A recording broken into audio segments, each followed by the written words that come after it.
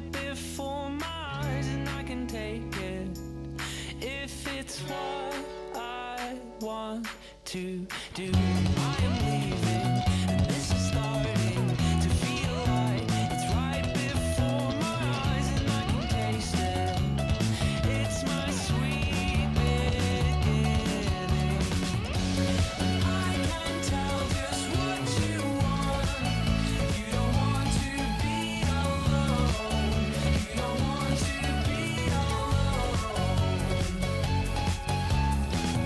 Thank you.